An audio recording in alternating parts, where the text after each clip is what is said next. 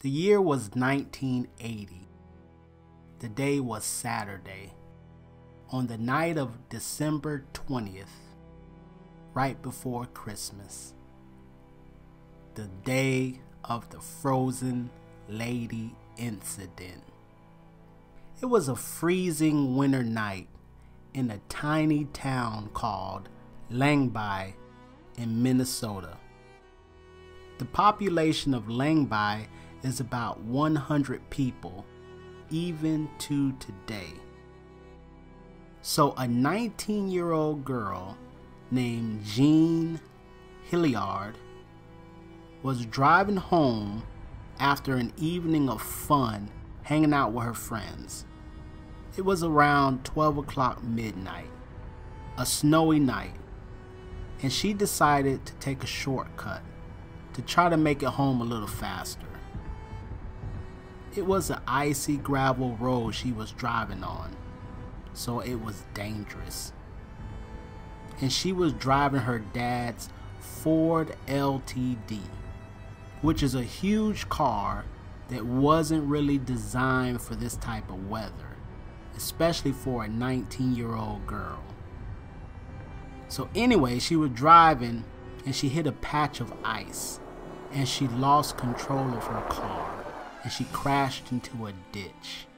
Now, keep in mind, it's about negative 22 degrees, and now she's crashed into a ditch. But she's okay. She was a little startled and dizzy, but she was good. Now, normal situations you would probably call triple A, but she couldn't. And she couldn't wait in that type of brutal cold. So she remembered that she had a friend named Wally Nelson that lived a short distance out. So she gets out of the car in her cowboy boots and starts walking. The wind is blowing hella hard, and the snow is reminding her every second of how cold it is. So she starts off good. She's plodding through the snow, She's thinking it's only a half a mile or a mile out. And in her mind, she's thinking about making it back home to her family. And she's not being able to see clearly because of the snow. So she climbs a hill and looks over it, thinking she has arrived, but she's not there yet. And by this time, she's shivering and she's not moving fast. And she starts to get frustrated that she's not there yet but she can't stop. She can't turn back. So she keeps pushing, and now she's starting to get tired and confused. Is she even going in the right direction? How much further is it?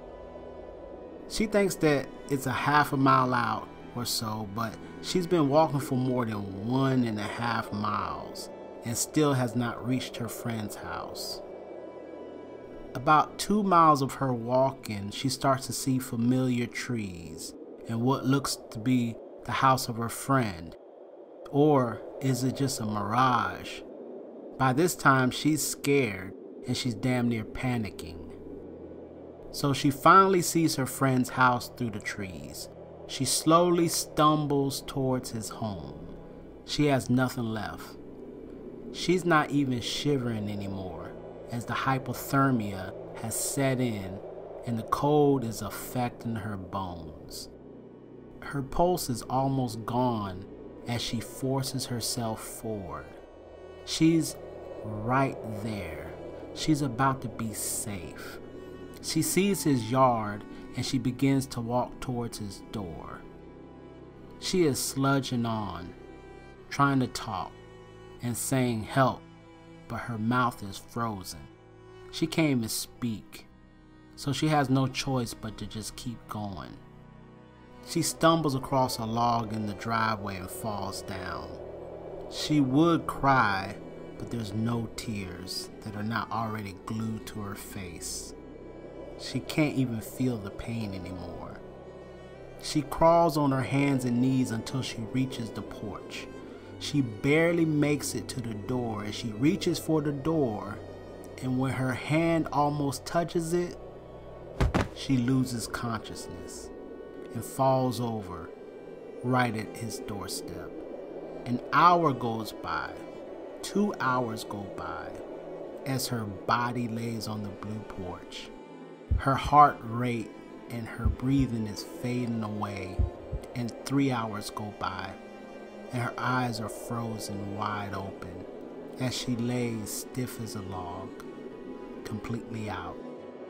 Four hours pass, five hours pass, and six hours pass, and she's all alone, completely frozen and stiff on the doorstep of her friend, Wally Nelson. By this time, her friend has woke up. He looks out the window and sees something covered in snow, a hunk in the yard. So he goes out and sees her wide eyed, frozen, like a block of ice, pale, white, and lifeless. So he pulled her onto the porch and he thought she was dead because she was frozen like a piece of wood. But while examining the body, he saw a few bubbles come out of her nose. So he had a female friend stay overnight, and he and his friend tried to put her into his truck, but her body was too stiff to fit in the cab of the truck. So he had to take her car to get her to the hospital. Now, when he got her to Fosston Hospital, the doctors were shocked at what they saw. They didn't even think she was alive. After he told them about seeing bubbles, they tried to do everything they could to save her. So they put her on the table and they began trying to give her an IV. But they couldn't even get the IVs into her arm because they were frozen and wouldn't move, and the IVs kept breaking on her skin. So now they're thinking if she is alive, there's nothing left. So they decide to put heating pads on her to thaw her out and warm her body, and they had no choice but to wait and see what happens. So they got a pastor and they gathered around her in prayer and they started chanting and in a few hours she was awake and started talking.